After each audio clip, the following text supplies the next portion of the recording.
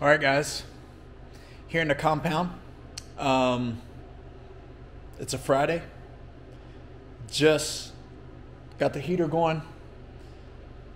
Just sipping some pre-workout with some reburst in it, some intra-workout carbs, and uh, I'm about to make some quick executive decisions on uh, what I have time for in regards to a training session. But I wanted to bring you guys here to the compound in the garage here to uh, share with you some thoughts on how I piece together a training session for myself, and uh, hopefully share with you some good tidbits on uh, how to get the best value for the time that you have in the gym, in the garage, wherever it is that you're throwing down to get the results that you're seeking. So let's go.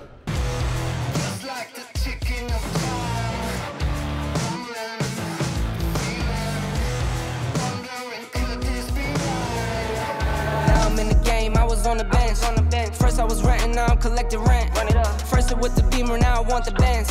Spending all the back like here I go again. Outside says chirp, now the camera phone. Told you I'ma make, keep the channels on. Why you acting different when the camera's on?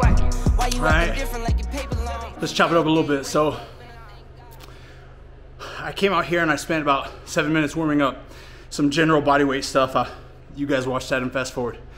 Um, my goal with my warm up every time is to be wise.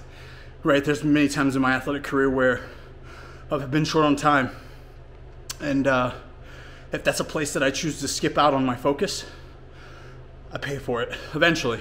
Uh, so that's my advice to you. Spend time warming up. If it's if it's five less minutes, if it's ten less minutes conditioning or weightlifting, it's better for you. Think long term, which is hard to do. So take my advice there. Say Adrian made me do it. You know, I hashtag Adrian made me do it.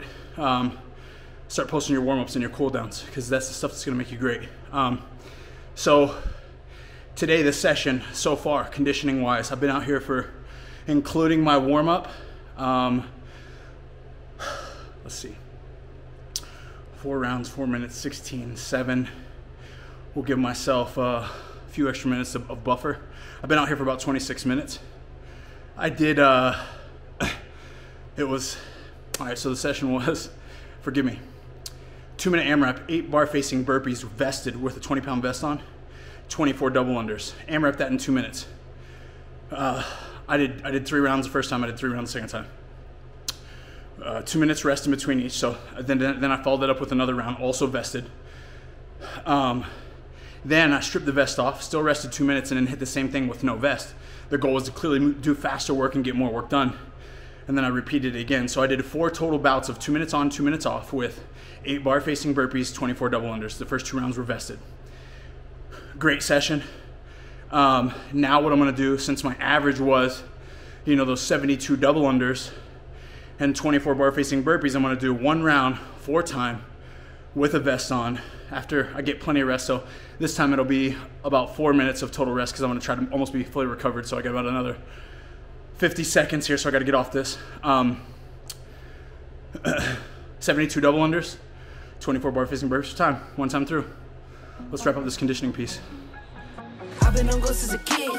Now I got house full of kids. Where I when he is sick. Keep making that money flip. I've been on since a kid. Now I got house full of kids. Where I when he is sick. Keep making that money All right, YouTubes. That was a good session. Um, well, let's walk outside, cool down a little bit. I'll show you guys why I need the heater.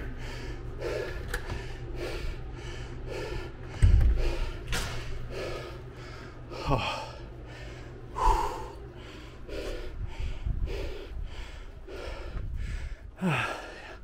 Welcome to Utah.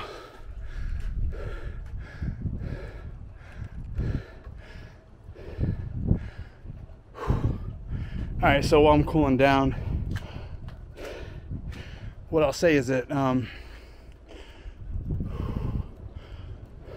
let me catch my breath here. So the real goal today and the focus was for me to move fast with intensity. Um, it's hard to do that sometimes on your own. It's hard to do that in the winter when it's cold. It's hard to get warmed and prepped. So I picked some simple movements, and uh, the goal was to move fast. And so I got that done. The beautiful thing about practicing burpees this way uh, is that under intensity, under stress, you have one gear, but then when it comes to just pacing uh, in a slower workout and basing it more off your aerobic capacity, it makes it easier. And I think this is one of the more overlooked aspects of training in our space is that people don't have gears, and it's important for you to have gears. You got to know when, you know, what's 10 out of 10 speed feel like? What movements does it feel like that with, and how can you cycle them faster? Um, and on the other end of the spectrum, what's two two out of 10 feel like? When you're barely hanging on, you need to recover. What's four out of 10 feel like? And more importantly, in a traditional workout, what's what's that seven or six to eight and a half or six to nine look like? And uh, you do it through sessions like this. Keep it simple, keep it effective, and the best way to make it effective is keep it intense. All right, back inside, a little warm, a little more cooled down from the workout at least, recovered. And now that my triceps are spent, my chest is a little blown up. I'm gonna go ahead and bang out 100 strict handstand push-ups, not for time, more so for quality. This is a particular weakness of mine. Um, so I visited a few times a week in different ways. Uh, and today will be one without intensity, uh, accumulating work. Essentially, I'm greasing a groove here. Um, getting some quality work done that will build my capacity without creating a ton of stress. I'll bang these out and then uh, I'll probably head inside, get the rest of my workday done. And uh, the beautiful part about this is tomorrow I'll come out here, feel fresh, um, and I'll be ready to sling some barbells and maybe get moving a little bit more in regards to like a longer, nastier traditional Metcon or chipper. So it's a great way to sprinkle in the variance. Remember, keep the intensity intense and make sure that you have intention behind your training. What up, guys? So we're back out here in the compound. This is day two of this weekend's training.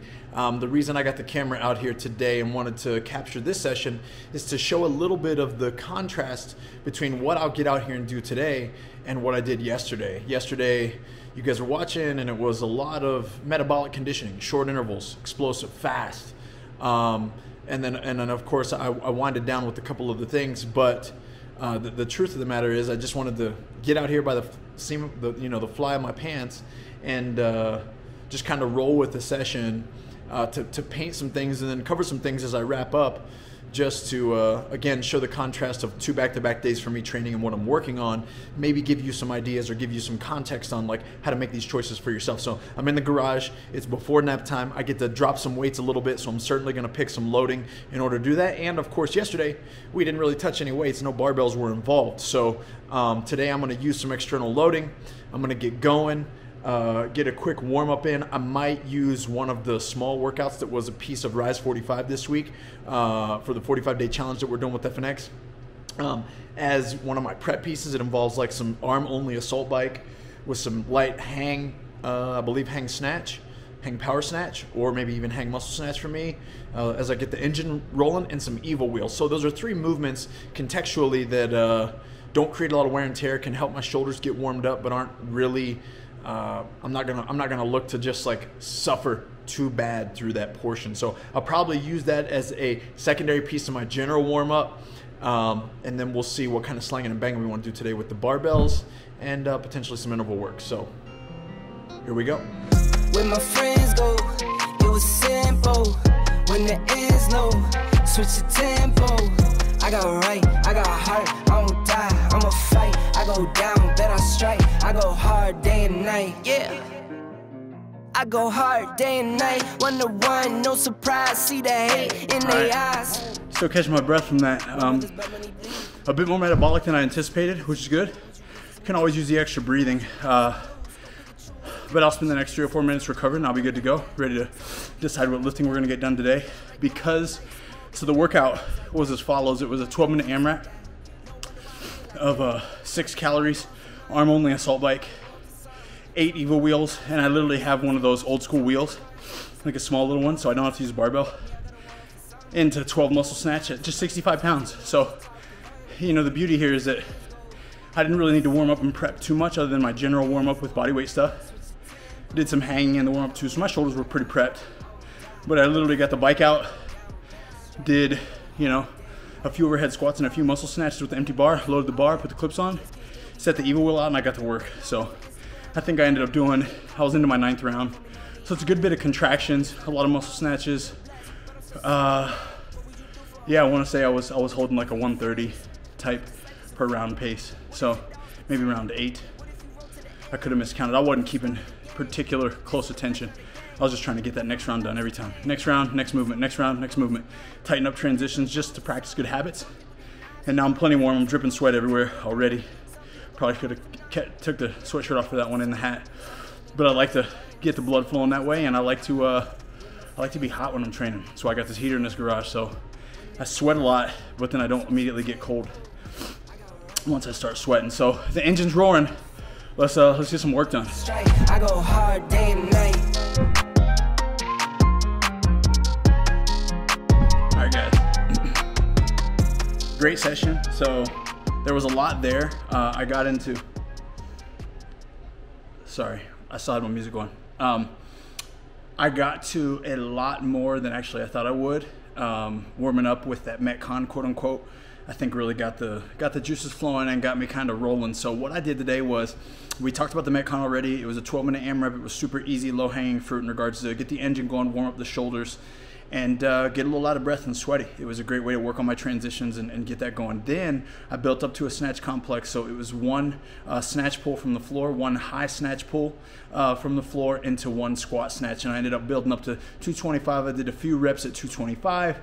Then I decided, um, since since lately I've been weighing in a, li- a little bit lighter, I'm so I'm 199 and uh, I wanted to see how cycling 225 would be, and not like uh, necessarily for time, but in a workout for time. So I did uh, I did six bar muscle ups and two squat snatches, uh, and I ended up doing five rounds essentially for time. It ended up taking me about 6:33 somewhere in that window.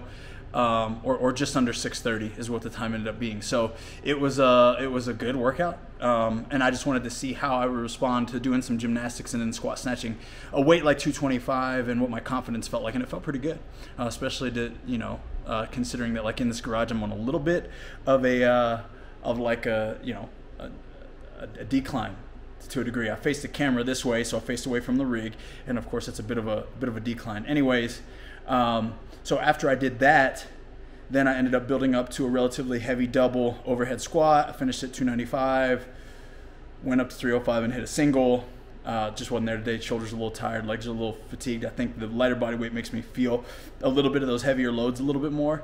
Um, and then I, uh, forgive me for this camera. It's it's it's not synced up the way I want it to be. Um, after those overhead squats, I uh, I ended up doing some snatch grip deadlifts and some uh, some core work. I call them squirms. Kind of like focused on the lateral portion of the core, the obliques a little bit more. We, we rarely do side to side and uh, side based movements um, in CrossFit. Usually it's all up and down and sitting up. So I wanted to focus a little bit on that. And all I did, all I'm working on is essentially, you know, I got long arms and I got long legs. So when I pull a snatch off the floor, I have to make the bar travel quite a bit further than I do just to stand to an open hip for a deadlift. So I have to switch up that grip and train that grip more often in order to shore up a weakness of mine because of how much longer that bar is in my hands and how much further it has to travel before I can actually make it float, right? Before I reach that top end of my pull. So uh, I just threw in basically two sets of 15 uh, at the end with two sets of a large chunk of those squirms with 100 reps each. So today was a great session. I'll check the whoop data and see what see what it was presenting to me, but um, yeah, built up to some good snatch complex work.